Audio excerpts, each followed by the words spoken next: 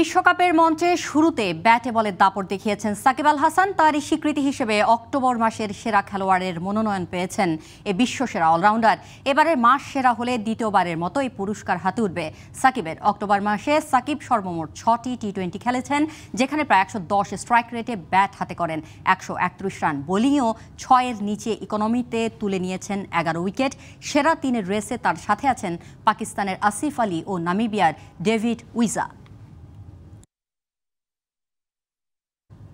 টি twenty বিশ্বকাপে দিনের দ্বিতীয় ম্যাচে মুখোমুখি হবে শ্রীলঙ্কা ও ওয়েস্ট ইন্ডিজ। আবুধাবিতে খেলা শুরু হবে রাত আটটায়।